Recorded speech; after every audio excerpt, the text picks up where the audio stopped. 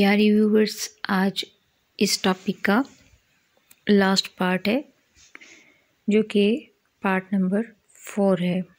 Has नफास के शर्ई मसाइल।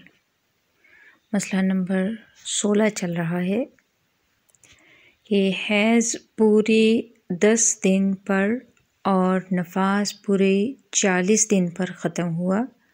और नमाज़ का, के वक्त में अगर इतना भी बाकी हो कि अल्लाह अकबर का लफ्ज़ कहे तो इस वक्त की नमाज़ उस पर फ़र्ज़ हो गई। नहा कर उसकी कज़ा करे और अगर इससे कम में बंद हुआ और इतना वक्त है कि जल्दी से नहा कर और कपड़े पहन कर एक बार अल्लाह अकबर कह सकती है तो फ़र्ज़ हो गई। कज़ा करे और इतना वक्त न हो तो नहीं। मसला नंबर सत्रह।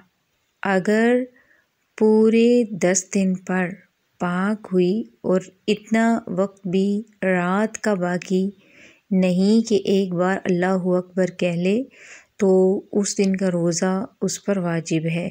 और जो कम में पाक हुई और इतना वक्त है कि सुबह सादक होने से पहले नहाकर कपड़े पहनकर अल्लाह अकबर कह सकती है तो रोज़ा फ़र्ज़ है। अगर नहा ले तो बेहतर, वरना बेनहाए नहाए नियत कर ले।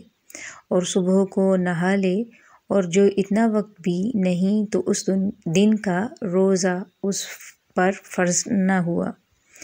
अलबत् रोज़ादारों की तरह रहना वाजिब है। कोई बात ऐसी जो रोज़े के ख़िलाफ़ हो मसलन खाना पीना हराम है।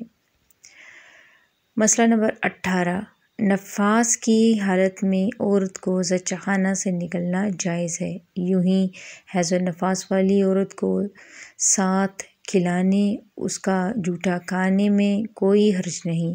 बाज़ जाहिल औरतें हैज़ नफास वाली औरतों के बर्तन अलग कर देती हैं, बल्कि उन बर्तनों को और हैज़ नफास वाली औरतों को नजस जानती हैं।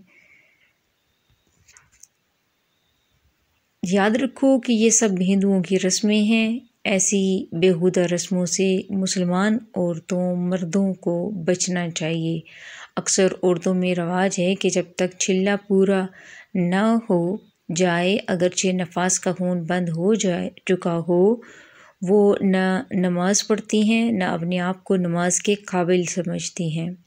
ये भी महज जहालत है। शरीयत का हुक्म यह है कि जैसे ही नफास का खून बंद हो, उसी वक्त से नहाकर नमाज़ शुरू कर दें। और अगर नहाने में बीमारी का अंदेशा हो तो तयम्मुम करके नमाज़ पढ़े।